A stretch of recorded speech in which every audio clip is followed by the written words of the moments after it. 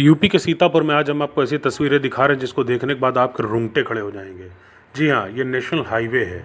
आप देख सकते हैं कि बीच में डिवाइडर बना हुआ था, आने जाने की सड़कें थी, लेकिन ये सड़क पूरी तरीके से ज़मीन में बैठ चुकी है। आपको बता दें कि रात के अंधेरे में अगर यहाँ से कोई निकलेगा और हल्की सी चूक होगी तो मौत के मुँह में चला जाएगा। ये महूली और सीतापुर के बीच का हाईवे है।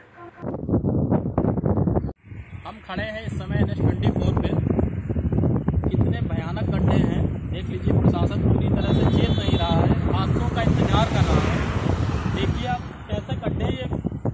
अभी तो हम गुजर रहे थे, इधर से देख, निकल रहे थे तो हमने देखा कि जो है, इस तरह से गड्ढे मैं तो हैरान रह गया गड्ढे को देख के। अधिकारी जम के जो है, इसमें ठेकेदार, अधिकारी सब जम के इसमें घोटालेबाजी हुई है।